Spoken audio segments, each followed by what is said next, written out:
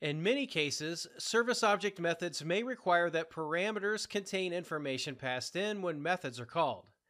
In the following example, we are going to use a currency web service that has a read method. This method does have four parameters defined that require specific information when the method is called with the purpose of converting one currency to another based on currency types, date, and money amount provided.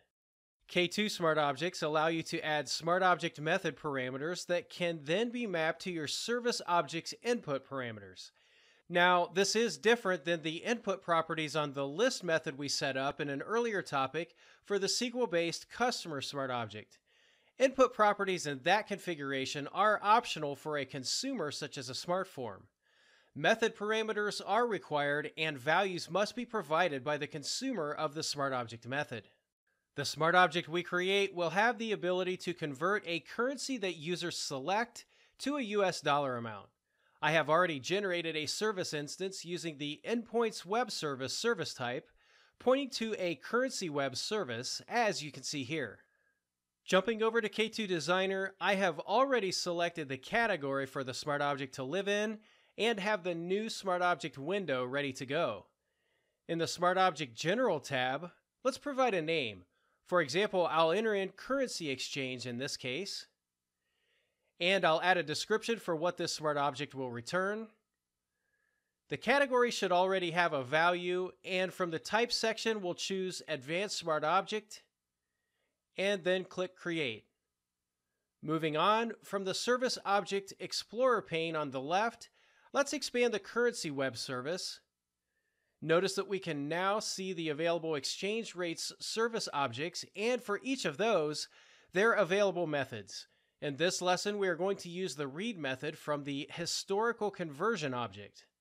Let's drag the read method from the historical conversion object over to the methods tab of the currency exchange properties and methods pane.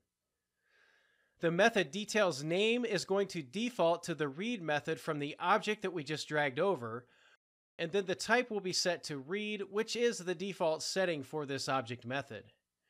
For this lesson, let's change the name of the smart object method to convertfx to make it a bit more descriptive.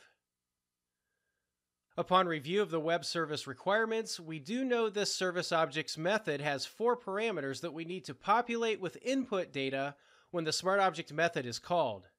The parameters are named date, from amount, from currency code, and to currency code. On the bottom of the Add Method Details dialog pane in the section named Configure Service Object Method Parameters, we will create Smart Object parameters to match the parameters of the Service Object method. To do this, we can click Add to launch the Add Parameters dialog window. Then we can start by making this the From Currency Code parameter with the type of text, and then click OK. Let's also add another parameter called amount, and we can set this to decimal. Then finally, our third parameter that we need is going to be called date with the type of date time. These will be the input parameters for this method, and we'll actually get to the parameter called toCurrencyCode in just a moment. With the smart object parameters created, we have basically told K2 these are mandatory input parameters for this method. The next step is to bind them to the underlying service object's input properties.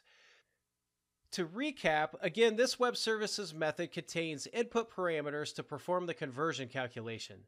The method receives these input parameters and will return a result accordingly. These method parameters were discovered back as part of the service instance when it was generated.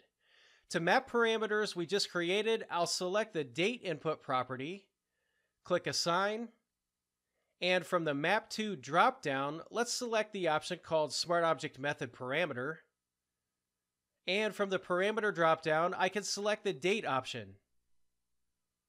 I'll repeat these steps for the from amount parameter by selecting amount from the parameter dropdown control.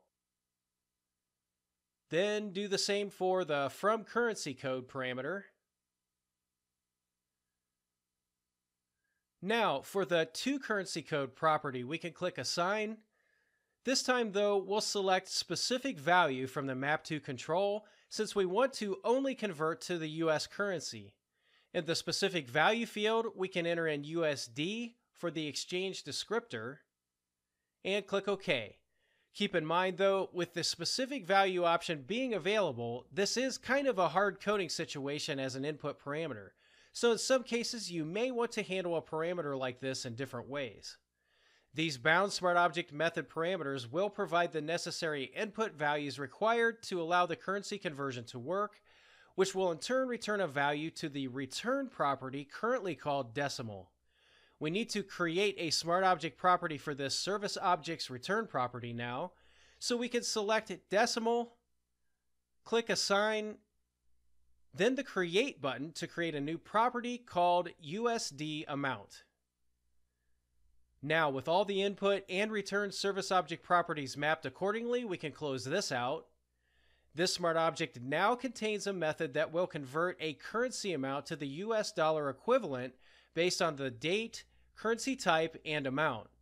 From here, I'll click Finish to save and essentially deploy this advanced smart object to the K2 environment for use in forms and workflows.